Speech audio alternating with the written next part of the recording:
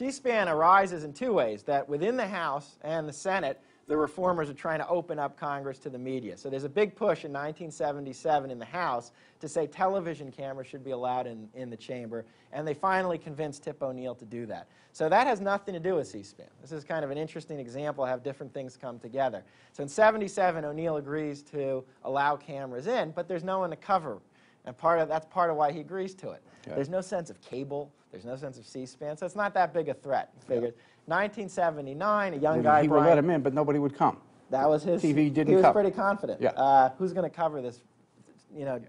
And, uh, and C-SPAN forms by in 78 and 79. And even then, no, O'Neill isn't worried because there's no conception of cable being very important. The, the idea was network TV. So he's an independent entrepreneur, Brian Lamb uh, who is enthralled by satellite technology, and he forms this channel in 79, starts by covering the House. In 84, the Senate agrees.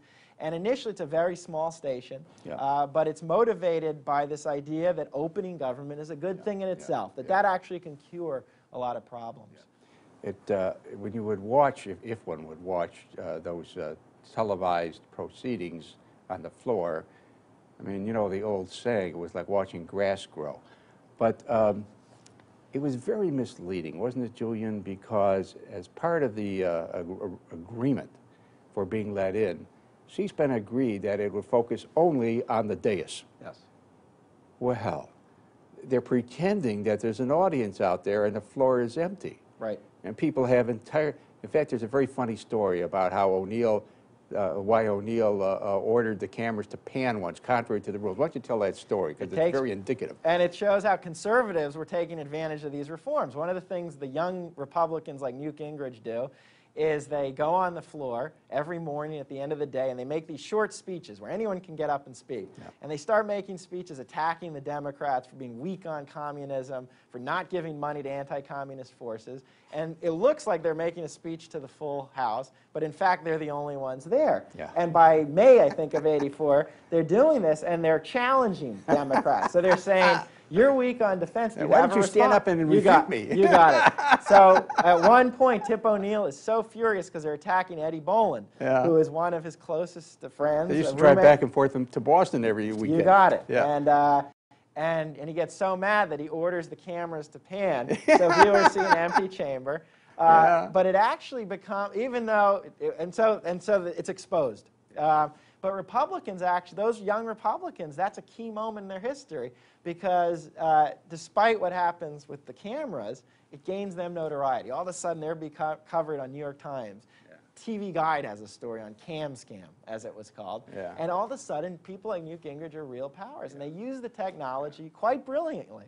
Uh, and, and then they turn it against O'Neill because they say the rules are you can't pan the chamber. Look at this guy. He's just breaking the rules. Yeah. And, and it, uh, that's, that's a turning point in their history. But it's an amazing story uh, on, on, on how these reforms and how this new television uh, was being used by you know, conservatives. You know, if I may put it this way, it's a marvelous story for another reason because when you think about the spirit of the thing, these guys who were standing up and challenging the Democrats to respond when there, were no, there was nobody in the front, they were cheating.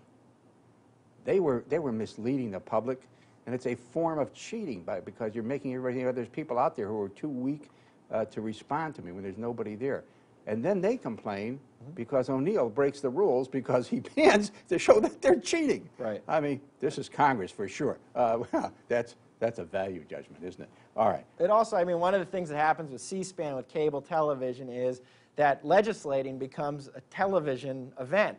And one of the things you're seeing here is the ability to manipulate the camera, to appear before the camera in a certain way becomes absolutely essential if you want to be powerful. Yeah. And both Democrats and Republicans are starting to learn this, uh, how important that yes, is. Yes, and, and, explain that now uh, legislators uh, rely on television to get uh, their face on the tube back in their districts, explain how they have their own television facilities and so on and so forth. Oh, they vastly expanded their public relations, each member, not just the leadership, Yeah. public relations staff. They're trained uh, to, to do television. One of the other stories I tell They're is, trained. That's yeah, important. They're and that goes back. Tip O'Neill, when he starts as a leader in the in the mid '76 and '77, he hates TV. Yeah. He won't. He rejects Sunday morning talk show invitations because he wants to go to the Cape. But by 1980, when Ronald Reagan is elected, uh, he realizes if he doesn't do well on television, he doesn't appear uh, in a compelling way, he's not going to be effective. So he hires this young guy named Chris Matthews, who comes in and he teaches him how do you sit in front of a camera, how do you speak to the camera, how do you repeat points over and over so they work. And Tip O'Neill remakes himself on television to the Yeah. point he appears on the television show Cheers. Yeah, Uh, and he yeah, really turns into almost the Santa Claus figure by 84 and 85. yeah, whereas yeah, earlier yeah, he was yeah. depicted as this old machine Yeah, type yeah, politician. So yeah. that's, that's a one story of millions at this point. Yeah. And you can't really be a legislator without that skill right now. Yeah. This excerpt is brought to you by the Massachusetts School of Law, the leader of reform in legal education and a leader in multimedia education for the public. To view the full interview and for a full listing of MSL's programs, log on to mslaw.edu.